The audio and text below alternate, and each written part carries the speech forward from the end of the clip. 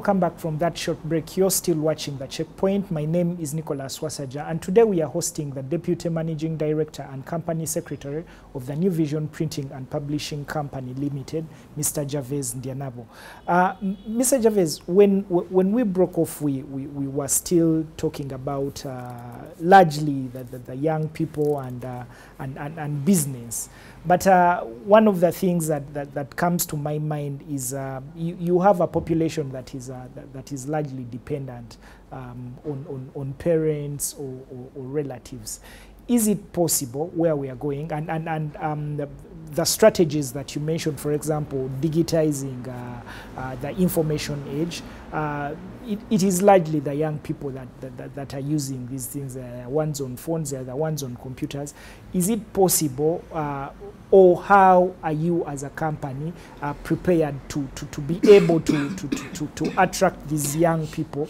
Be because the, the kind of information, what I'm asking is that the kind of information you're interested in, as Mr. Ndyanabo, is not the kind of information I'm interested in.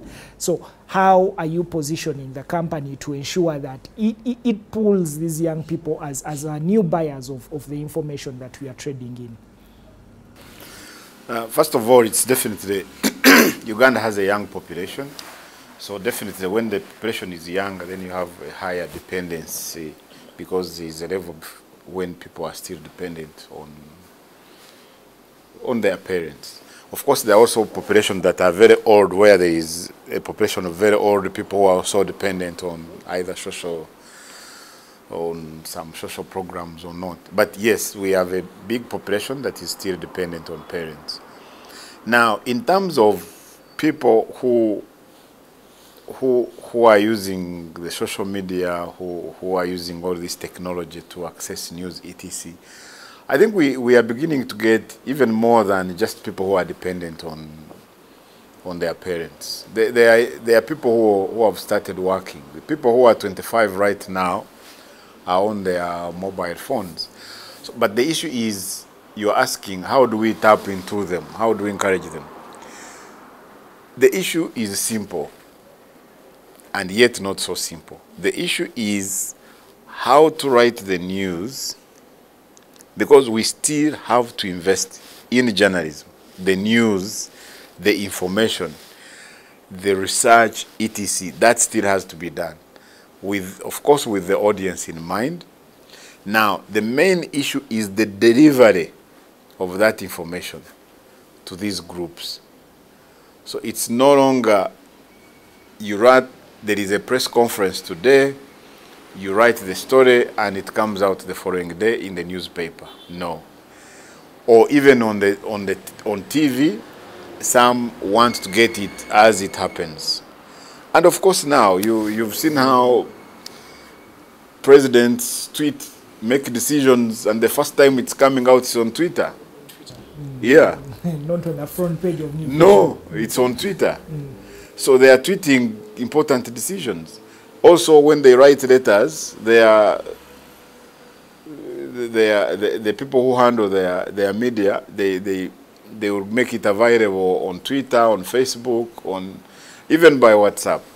So the issue is we still have a responsibility as a media house, not just to release the information the way it is. That is already being done. But it is to make that analysis, to make to go deeper than the press releases and present it in a way that will be attractive to these to these people and find them where they are. If you if you stopped the clock at 8 p.m. in the evening, where are these, what are these people doing? Chances are that many of them are on their phones, not so. So then we find them there. Mm, let's find them in their phones. You, you, you talk of, uh, you highlight a very key tenet of, of, of our trade of the media, good journalism. But, but, but good journalism is very expensive how are you prepared? Because the strategy is that we should deliver information we should deliver journalism that is good, that is attractive. That is the strategy. Are you ready as a company to invest in good journalism? We don't have a choice unless, unless we are moving away from being a media house. As long as we're a media house, we have to invest in good journalism. It's expensive, but there are no two ways about it. And journalism will remain journalism. A, a press release is not journalism. It's not enough. So you, people have to analyze the facts behind all these releases and there's a lot of analysis. Fixing things together go back into history. There is so much and we have to invest in that that journalism. And that's the kind of information that people will not find on their normal social media. But we can also have our own uh, social media handles and then these people find it there. You see, Mr. Ndyanabo, when um, this interview with you was, I don't know, for some reason was highly publicized. When I came back from my off duty, I phoned when the entire newsroom was aware that I was going to interview you.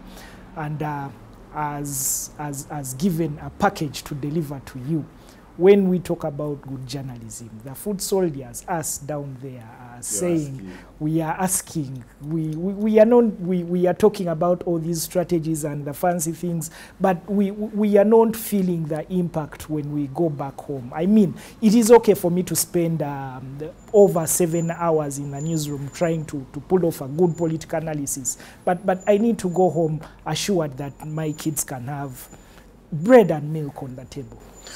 Yes, de- definitely, and, and and that's definitely a big challenge. As I said, the like the the journalism, the the way we are delivering information, it's taking long everywhere in the world to deliver the results that are expected. But definitely, that is work in progress. Definitely, I- all these will be improved. Definitely. Uh, that also brings to mind um, a question that has time and again been uh, highlighted by the shareholders in, in, in the corridors. That, uh, well, New Vision has uh, is uh, the, management knows how to make the money, but, but, but it seems like there is a gap when it comes to expenditure. What's your take on this? That's exactly what I'm talking about. That journalism. You see,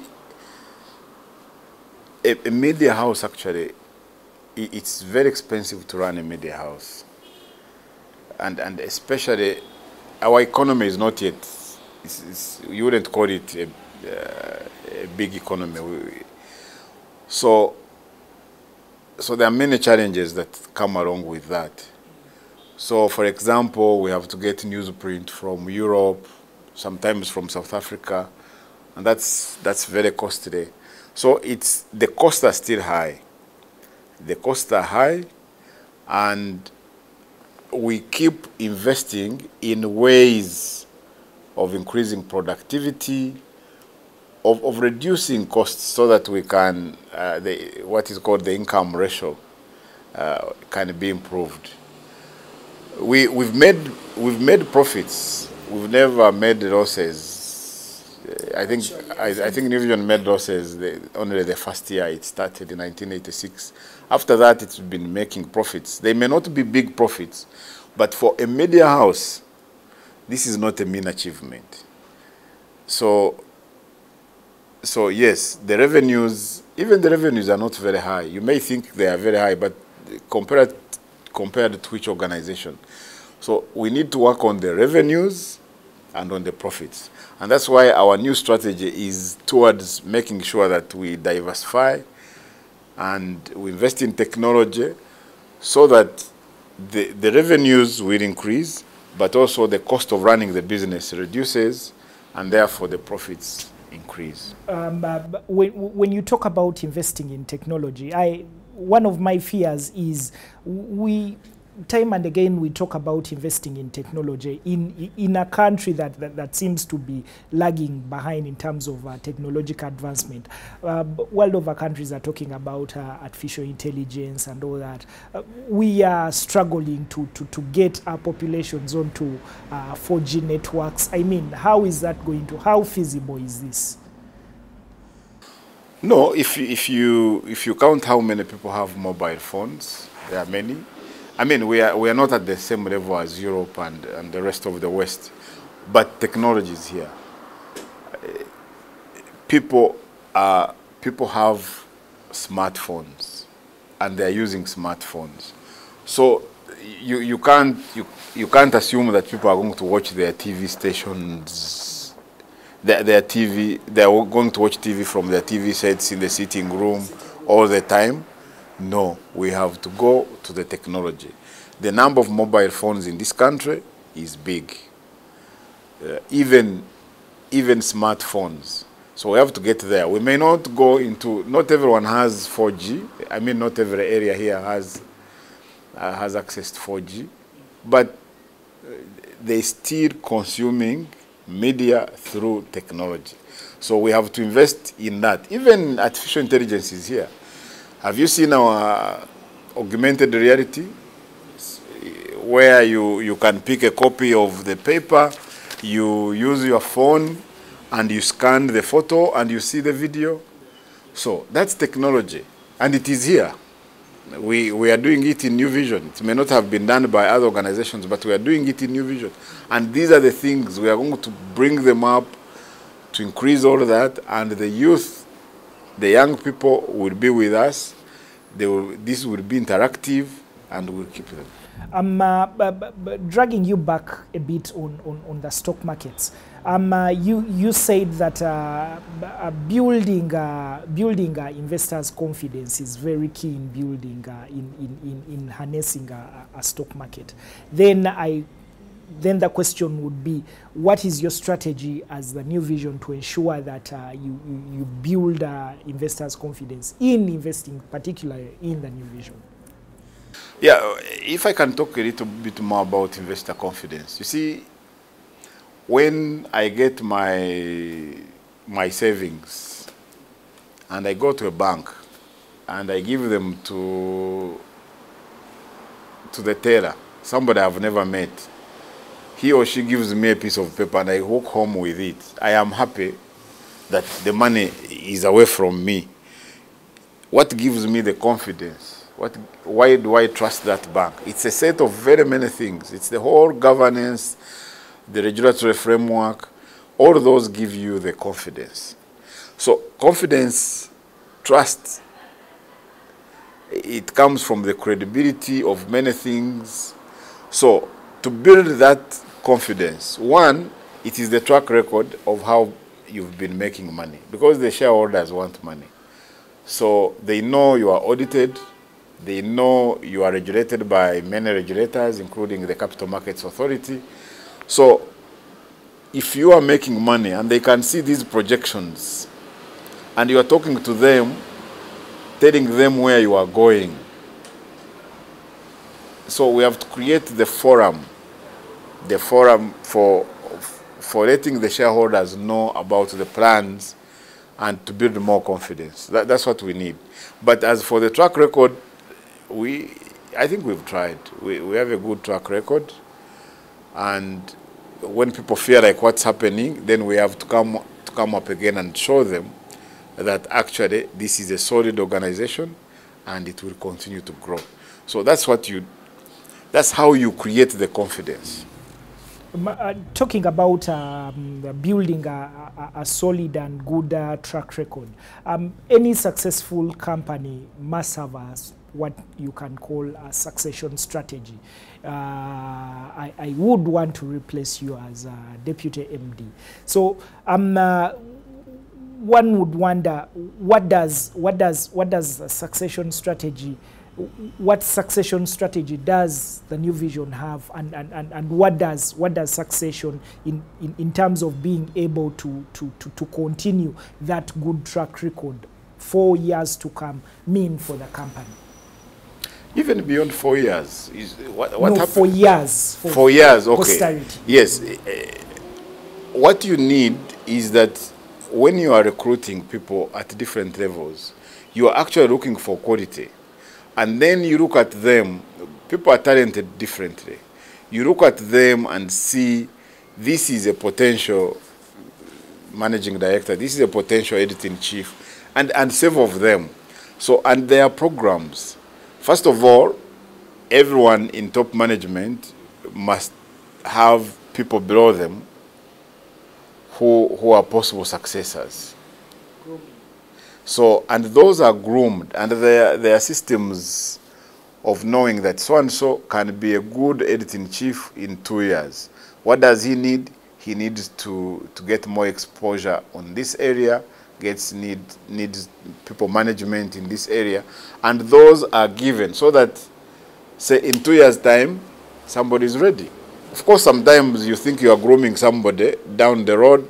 One year later, the person leaves, but that's why you need more than one. And there are people. It, actually, our succession planning is deep.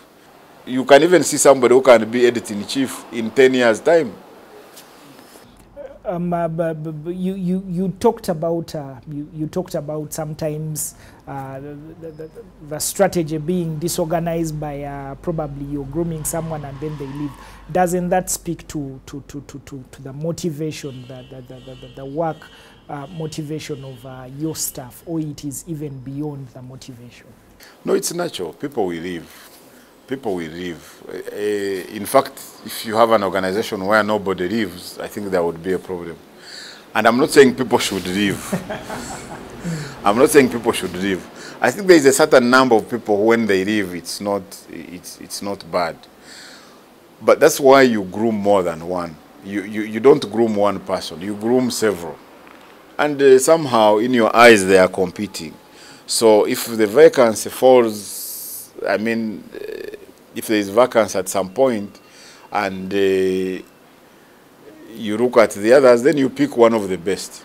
But if one of them leaves and you are grooming three, then you have the other two.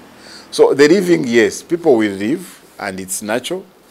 Uh, the motivation, uh, you can't be the only organization. So there will be, you, you get surprised. People will come and, and poach your people.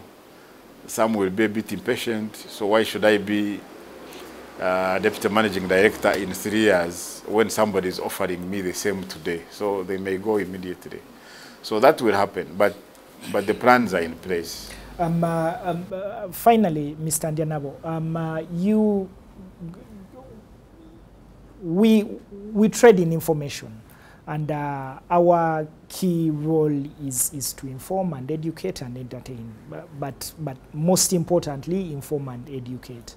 Uh, in, in terms of uh, growing Uganda's economy, uh, the, the government talks of um, the, the, the oil industry, the oil sector, the oil and gas sector as, as, as one of those key industries that are going to that are going to boost Uganda's economy and growth. How are we positioning ourselves as New Vision to ensure that we, we enhance uh, the, the, the, um, the capabilities of Ugandans to be able to tap into the oil and gas sector? Well, you've mentioned oil and gas, but it's not the only one, and in, and, uh, and I, I wouldn't want Ugandans to put all their future into oil and gas. It's, it should be just one of them.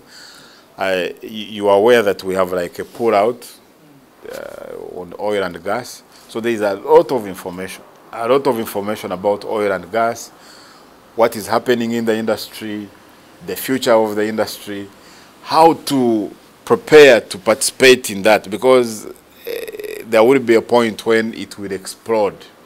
There will be so many opportunities that most Ugandans won't be prepared. So both that and many others. So in terms of information, we try our best.